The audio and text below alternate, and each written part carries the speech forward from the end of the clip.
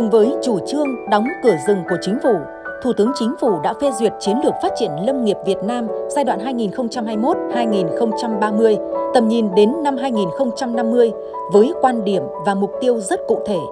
Trong đó, nội dung bảo vệ các hệ sinh thái rừng và bảo tồn đa dạng sinh học là yêu cầu hết sức quan trọng để gìn giữ môi trường sống, giúp phát triển kinh tế bền vững. Trên thế giới, tài nguyên rừng và đa dạng sinh học luôn đứng trước những áp lực và thách thức nhất là với các nước đang phát triển – và Việt Nam chúng ta cũng nằm trong số đó.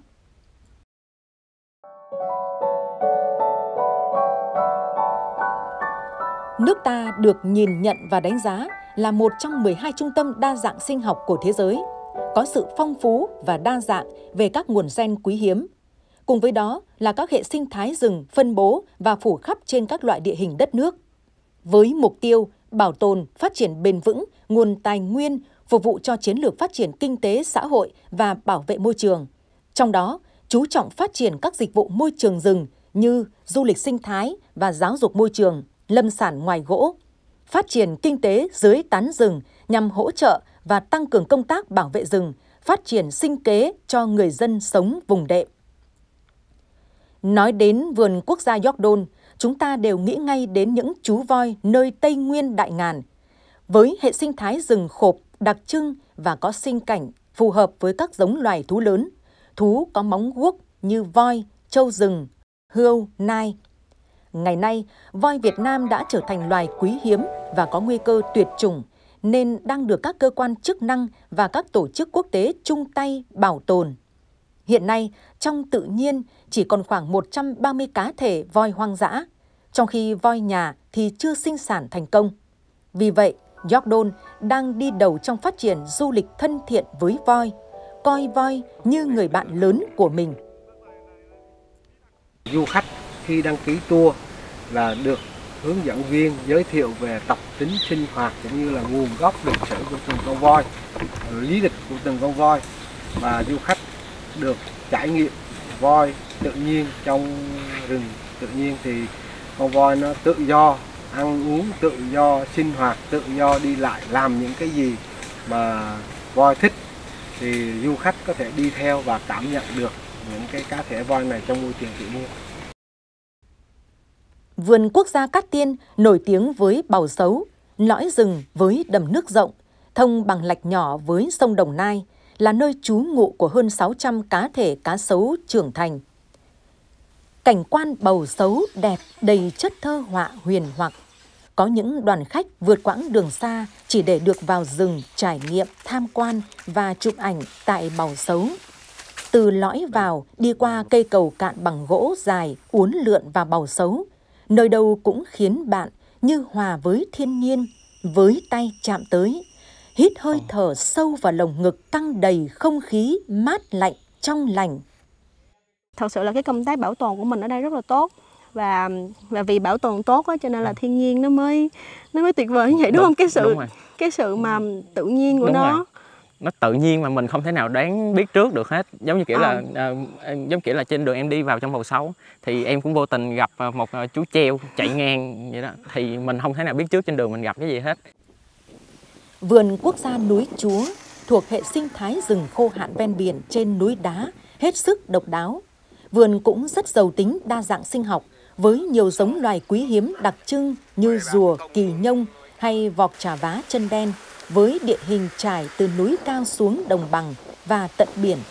Đặc biệt với điều kiện khí hậu và thổ nhưỡng riêng có, núi Chúa như là một rừng bonsai. Cây ở đây có thế dáng rất đẹp, quyện bên những hòn non bộ tự nhiên tạo nên sức hút khó cưỡng. Chúng tôi lưu ý lưu tâm tới những cái cái hệ sinh thái hệ sinh thái rừng khô hạn độc đáo của vùng danh chúa. Thứ hai là những cái cái cái loài động vật và sinh cảnh sống của một số loài động vật đặc hữu quý hiếm. Như một số loài động vật quý hiếm tại vùng gia núi chúa hiện có như là cái ờ, uh, vật chà vá chân đen. Và đặc biệt trong thời gian gần đây thì cái loài treo treo lưng bạc cũng được xem như là loài phong bố hẹp coi như là uh, 30 năm nay muốn phát hiện trở lại Vườn quốc gia Cúc Phương được thiên nhiên ban tặng cho những giá trị cảnh quan thiên nhiên độc đáo, sự đa dạng về hệ sinh thái và những giá trị lịch sử văn hóa lâu đời. Vườn Quốc Phương có hệ thống các chương trình cứu hộ, bảo tồn nổi tiếng, các giống loài tê tê, rùa hay linh trưởng. Còn khu bảo tồn đất ngập nước Vân Long hiện là khu danh lục xanh đầu tiên của Việt Nam, được biết đến là nơi sinh sống của loài vọc quần đùi trắng quý hiếm. Việt Nam là một trong những quốc gia tích cực và tham gia à, về bảo tồn đa dạng sinh học và đã có luật về bảo vệ đa dạng sinh học à, được ban hành. À, công tác về bảo vệ đa dạng sinh học Việt Nam thì đã được à, các cấp, các ngành và chính phủ quan tâm và đã hình thành đến hệ thống rừng đặc dụng với 167 cái ban quản lý với khoảng 2,3 triệu hecta cùng với các hệ thống À, rừng à, khác nữa đã góp phần về duy trì các hệ, hệ sinh thái, bảo vệ cái sinh cảnh môi trường sống các loài động thực vật à, nguy cấp quý hiếm. Giá trị đa dạng sinh học của nước ta cao, nhưng hiện trạng tình trạng bảo tồn về đa dạng sinh học cũng đang là một vấn đề cấp bách mang tầm quốc gia. Những mối nguy từ hoạt động săn bắt trộm động vật hoang dã, buôn lậu lâm sản, xâm canh làm mất sinh cảnh của giống loài và tác động của biến đổi khí hậu đang là những vấn đề mang tính toàn cầu. Bên cạnh đó là nhiều nguyên nhân khác như chuyển đổi đất khi chưa có đủ luận cứ khoa học, phát triển cơ sở hạ tầng, loài ngoại lai xâm hại khai thác quá mức nguồn tài nguyên, ô nhiễm môi trường và áp lực từ nhu cầu phát triển kinh tế và tăng nhanh dân số. Phát triển kinh tế xã hội thì trong đó có cái vấn đề là về làm gọi là mở rộng các cái đường, chẳng hạn như đường dự kiến mở cái con đường quốc lộ 13 thì sẽ dẫn đến cái nguy cơ là gọi là mình chia rẽ hay là phân mạnh cái cái hệ sinh thái ra thì ảnh hưởng đến cái công tác là bảo tồn các cái hệ động thực vật mà trong đó cụ thể ví dụ ở đây là có thể quần thể voi hoang dã hoặc là quần thể uh, vọc trà vá chân đen quần thể uh, cu ly thì những cái loài này là nằm trong cái uh, nghị định 64 về các cái loài mà nguy cấp quý hiếm được ưu tiên bảo vệ. Để giải quyết vấn đề suy giảm tài nguyên đa dạng sinh học và bảo vệ các hệ sinh thái rừng, chính phủ đã từng bước hoàn thiện khung pháp lý. Nhiều kế hoạch hành động bảo tồn cho nhóm loài đang có nguy cơ tuyệt chủng cao đã được đưa ra, như kế hoạch bảo tồn rùa biển, voi, hổ, linh trưởng, thú ăn thịt nhỏ. Tại vườn quốc gia Cát Tiên, vốn là một khu dự trữ sinh quyền giàu tính đa dạng sinh học bậc nhất cả nước, thì việc đưa vào sử dụng các thiết bị công nghệ như flycam hay bẫy ảnh trong hoạt động tuần tra bảo vệ rừng, theo dõi, giám sát các loài động vật và công nghệ sóng âm để ghi nhận và điều tra các giọng hót, tiếng kêu của các loài động vật hoang dã. Sự hiện đại, hiệu quả nó giảm đi cái công sức mà của lực lượng là trong cái quá trình làm nhiệm vụ tuần tra bảo vệ rừng cũng như tăng cái tính hiệu quả trong cái giám sát đa dạng sinh học đảm bảo cái độ chính xác ờ, hơn. Thì tạo những cái uh, ghi nhận được những cái thông tin những cái hình ảnh uh, nó minh chứng rõ nét. Và mà để mà mà phục vụ cái cái cơ sở dữ liệu về đa dạng sinh học của vườn nó chắc chắn hơn. Là một trong bốn trung tâm giàu tài nguyên đa dạng sinh học nhất cả nước, lại có lợi thế về khí hậu ôn đới mát mẻ quanh năm cùng cảnh quan đẹp đi kèm bản sắc văn hóa cộng đồng bản địa đặc sắc. Vườn quốc gia Bi Đúc núi Bà cũng rất coi trọng việc nắm bắt vận dụng các chương trình dự án quốc tế trong hợp tác và hỗ trợ thực hiện các mô hình quản lý rừng bền vững, bảo tồn đa dạng sinh học một trong những điểm nhấn quan trọng trong phát triển các dịch vụ của vườn là theo hướng tiếp cận toàn cầu, lấy lớp trẻ làm trọng tâm.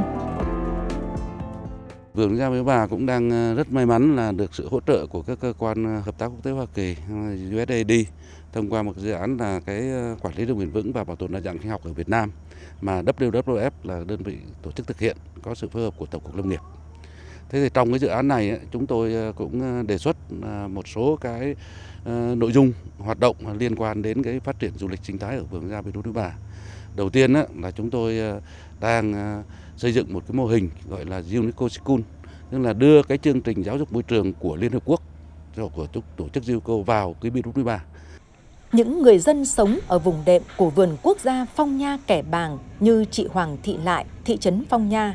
Trước nay thuần túy làm nông, đời sống vất vả với thu nhập chẳng đáng là bao. Hiện nay vườn quốc gia Phong Nha Kẻ Bàng phối hợp với các cơ quan tổ chức tại địa phương phát triển du lịch sinh thái và sinh kế cho người dân. Chị lại đã có công việc chèo thuyền lái đò đón đưa du khách đi tham quan hang động trong quần thể phong nha kẻ bàng, đem lại thu nhập ổn định hơn.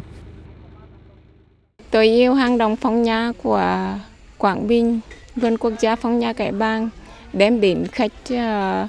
đóng ờ, để có công việc của mình ờ, để thường xuyên đưa khách đi hàng ngày. Cùng tham gia chuỗi cung ứng dịch vụ phục vụ du khách tại Phong Nha Kẻ Bàng, việc tham gia các lớp tập huấn của vườn quốc gia tổ chức để nắm bắt kịp thời các quy định phải tuân thủ trong việc bảo vệ tài nguyên rừng, tài nguyên đa dạng sinh học cũng như bảo vệ di sản thiên nhiên thế giới. Với các chủ homestay hay chủ đò này là điều đương nhiên vì họ còn phải phổ biến lại cho khách của mình. Hôm nay của bọn em ở bên chỗ vườn quốc gia thì hầu như bọn em đều phải chấp nhận các, các luật lệ của vườn quốc gia phong nha đề ra ví dụ như mình phải giữ môi trường trong sạch đẹp là nguồn nguồn sông này và tuyên truyền cho khách tới đây thì lúc mà người ta tham gia tham quan phong nha thì không được vứt rác bừa bãi và giống như là không ví dụ như là về bên thú rừng đồ các kiểu là mình không được làm gì hết. Vườn quốc gia York Don là vườn có diện tích lớn thứ hai trong số các vườn quốc gia và khu bảo tồn trong cả nước. Giao thông tỉnh lộ đi ven rừng khá dài và tài nguyên rừng rất phong phú, nên việc bảo vệ rừng ở York Don 3 năm qua chưa bao giờ là việc dễ dàng. Trạm kiểm lâm số 12 của vườn đóng ngay mặt đường tỉnh lộ 1A và gần khu vực dân cư nên là một trong những trạm nhạy cảm về mọi mặt. Vì vậy, trạm vừa phải tổ chức tuần tra hết tuyến tỉnh lộ 1A, vừa phải tổ chức nằm mật phục tại các tuyến đường mòn trọng điểm. Đặc thù của mình là nói tới bây giờ muốn quản lý tốt thì mình phải là nhiệt huyết, mình phải yêu ngành yêu nghề, không? Mình phải là là bám ờ, rừng cho con mà mình mà, mà khơi khơi khơi mà tư tưởng mà mà không thông thì ờ, không có làm ăn gì được cả nên là ở đây là đầu tiên là cái tư tưởng là rất ổn định anh em ở trạm vậy tất cả các trạm không phải riêng gì trạm 12 đúng như lời ông trạm trưởng nói tư tưởng của anh em làm nhiệm vụ phải ổn định. Ổn định thì mới làm được và phải xác định công việc này là gắn bó với rừng nên những chàng trai trẻ người đồng bào này mới vui vẻ rời xa gia đình về với lực lượng kiểm lâm vườn sau 3 năm quân ngũ. Hiện nay, lực lượng kiểm lâm của vườn với 145 kiểm lâm viên được phân bổ cho 16 trạm và một đội cơ động quản lý 115.545 ha. Mỗi kiểm lâm viên phụ trách tương đương khoảng 700 ha, cao hơn nhiều so với định mức và khả năng của một cán bộ kiểm lâm có thể kiểm soát tốt được việc phối hợp hỗ trợ và giao khoán quản lý bảo vệ rừng tới cộng đồng dân cư trên địa bàn vùng đệm đang được vườn quốc gia York Don thực hiện hiệu quả. Hàng năm vườn tổ chức ừ, cho các thôn buôn vùng đệm được ừ, nhận giao khoán quản lý bảo vệ rừng tham gia cùng lực lượng kiểm lâm của vườn để đi cùng đi tuần tra, kiểm tra, giám sát xem xem là lực lượng kiểm lâm làm như thế nào bà con mình đi như thế thì để bà con nhận thức được rằng uh, mình đi như thế mình thấy như thế thì cái trách nhiệm của mình vai trò của mình đến đâu để cùng với lực lượng kiểm lâm của vườn để thực hiện um, công tác quản lý bảo vệ rừng và cùng nhau giữ rừng. Hiện nay, các vườn quốc gia đã và đang phát huy giá trị tài nguyên cảnh quan, tài nguyên đa dạng sinh học để phát triển các dịch vụ du lịch sinh thái, giáo dục môi trường, thông qua các tour, tuyến khám phá, trải nghiệm và đang trực tiếp đóng góp vào sự phát triển của ngành lâm nghiệp cũng như của kinh tế địa phương. Mong rằng với lần sửa đổi Nghị định 156 của Chính phủ hướng dẫn thi hành luật lâm nghiệp đang được tiến hành sẽ đem lại một luồng gió mới tự tin, yên tâm hơn cho những người làm công tác quản lý, bảo vệ rừng. Để một màu xanh bình yên, còn mãi trên giải đất thân thương của chúng ta.